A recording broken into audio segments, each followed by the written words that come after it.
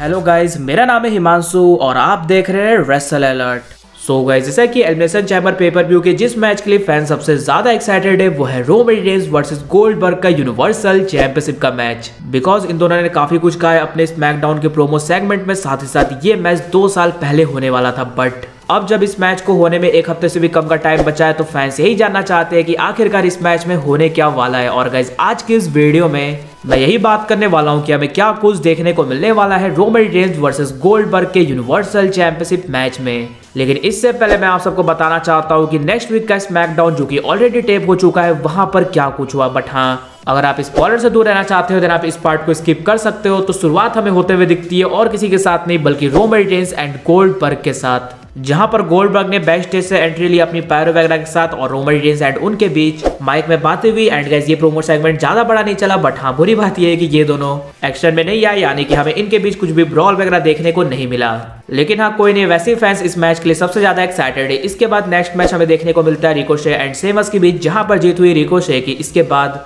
guys Sami Zayn and Shinsuke Nakamura के बीच हमें इंटरकॉन्टिनेंटल चैंपियनशिप का मैच देखने को मिलता है और गेस वॉट यहाँ पर सैमी जेन ने हरा दिया सिंस के नाकामुरा को एंड वो बन गए हमारे इंटरकॉन्टिनेंटल चैंपियन जो की एक काफ़ी बड़ी थिंग है एंड डब्ल्यू ने खुद इसके बारे में अपने ऑफिशियल वेबसाइट पर बताया इसके बाद आई बार ने हरा दिया SmackDown tag team champion Jimmy Uso को। इसके बाद नेक्स्ट हमें देखने को मिलता है Drew McIntyre Matt Capmos and Happy Corbin का एक प्रोमो सेगमेंट जिसके बाद नेक्स्ट रहता है रोमन रेंस वर्सेस गोल्डबर्ग के एलिमिनेशन चैम्बर में होने वाले मैच का एक एक्सटेंडेड प्रोमो वर्जन यानी कि इनके मैच को हाइप करने के लिए डब्ल्यू ने कुछ क्लिप वगैरह दिखाया होगा। इसके बाद मेन इवेंट में हमें देखने को मिलता है contract signing Ronda Rousey and Naomi versus Sonya Deville and Charlotte Flair के मैच का, जो कि इस स्मैकडाउन में ऑफिशियल हुआ। तो इस कॉन्ट्रैक्ट साइनिंग को होस्ट करे थे एडम पियर्स एंड दोनों टीमों के बीच वर्ड्स एक्सचेंज होते हैं। तब तक जब तक रोंडा राउजी टाइटल थ्रो कर देती है सार्लेट फ्लेयर पर। एंड जब सार्लेट फ्लेयर उन पर अटैक करने आ रही थी तो रोंडा राउजी ने उन्हें टेबल पर स्लैम कर दिया। फिर नयोमी ने एक किक जड़ दिया सोनिया डेविल को और दोनों ने लास्ट में स्टैंड टॉल किया। तो गाइज़ यही कुछ हमें देखने को मिला नेक्स्ट स्मैकडाउन में। और नेक्स्ट वीक का स्मैकडाउन तो एलिमिनेशन चैम्बर के दिन ही होने वाला है तो सुपरस्टार्स तो वहीं पर रहने वाले, इसलिए डब्ल्यू ने पहले से इसे टेप कर लिया है। बट अब बात कर ली जाए अपने नेक्स्ट लास्ट थिंग के बारे में कि आखिरकार रोमन रेंस एंड गोल्डबर्ग के मैच में हमें क्या कुछ देखने को मिलने वाला है। सो so, जैसा कि इस मैच के लिए फैंस काफ़ी ज़्यादा एक्साइटेड है और रोमन रेंस ने कहा है कि वो गोल्डबर्ग को स्कॉस करने वाले सो जो काम गोल्डबर्ग उतने टाइम से करते हुए आ रहे थे रोमन रेंस वो कर पाएँगे या फिर नहीं फैंस वही जानने के लिए एक्साइटेड है। एंड गोल्डबर्ग को तो सभी कोई जानते हैं भाई वो कब क्या खर्चा है किसी को भी नहीं पता। फिर जैसे सुपरस्टार के अनडिफिटेड स्ट्रीक को उन्होंने एंड किया है। सो फैंस को ऐसा लग रहा है कि क्या पता गोल्डबर्ग रोमन रेंस की 500 प्लस डेज़ की यूनिवर्सल टाइटल रेन कर दे। एंड देन गैस पॉसिबली हमें इन्हीं तीनों थिंग्स में से कोई एक थिंग होते हुए दिख सकती है। एडमिशन चैम्बर के पेपर व्यू में सबसे पहली है हमें रोमन रेस गोल्ड गोल्डबर्ग को हराते हुए दिखे। बिल्कुल क्लीन एंड रिटेन करे अपनी यूनिवर्सल चैंपियनशिप बिकॉज़ आप सब जानते ही हो रोमन रेंस का भी बिल्कुल अलग ही लेवल चल रहा है। वो हर महीने एक ना एक रिकॉर्ड बनाते जा रहे हैं तो क्या पता? जब डब्ल्यू e के ये प्लान नहीं है कि गोल्डबर्ग एंड रोमन रेंस की फ्यूड कंटिन्यू रहे तो डब्ल्यू e यहाँ पर ज़रूर से विक्ट्री देना चाहेगी रोमन रेंस को एंड उनके अचीवमेंट लिस्ट में इस चीज़ को भी ऐड करना चाहेगी कि रोमन रेंस ने क्लीन हराया था गोल्डबर्ग को।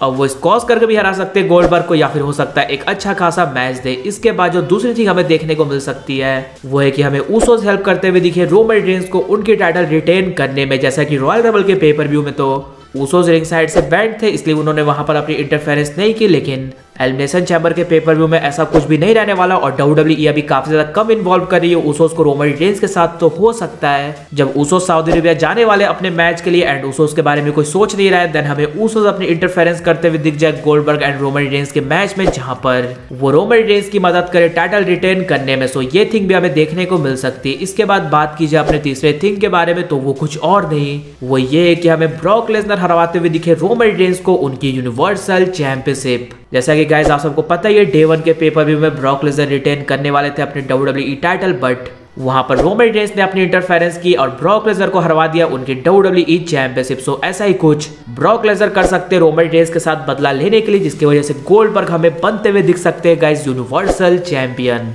जिसके बाद हो सकता है गोल्डबर्ग भी ऐड हो जाए Roman Reigns and Brock Lesnar की फ्यूड में, या फिर गोल्डबर्ग का अलग मैच हमें देखने को मिले। रेसलमेनिया में यूनिवर्सल चैंपियनशिप के लिए और रोमन वर्सेस ब्रॉक का हमें डब्ल्यूडब्ल्यूई चैंपियनशिप मैच देखने को मिले। सो लेट से कि क्या गोल्डबर्ग इस बार हमें सॉक करते हैं सऊदी अरबिया के पेपर व्यू बिकॉज़ इस बार उनके चांसेस थोड़े कम लग रहे सो गाइस यही वो। पॉसिबली तीन चीज़ें जो कि हमें रोमन रेंज वर्सेस गोल्डबर्ग के यूनिवर्सल चैंपियनशिप मैच में देखने को मिल सकती है। लेकिन आप सब मुझे ये कॉमेंट करके ज़रूर से बताना। अब जब रोमन रेंस वर्सेस गोल्डबर्ग के मैच को होने में इतना कम टाइम बचा है देन आपको क्या लगता है elimination chamber pay per view से? एज यूनिवर्सल चैंपियन कौन बाहर निकलने वाला है रोमन रेंस या फिर गोल्डबर्ग इसके अलावा अगर वीडियो पसंद आएगी तो वीडियो को भी लाइक कर दीजिए और चैनल को सब्सक्राइब करने के साथ साथ उसके बगल वाले बेल को भी ज़रूर प्रेस कर दीजिए। तो मिलते हैं गाइस अगली वीडियो में।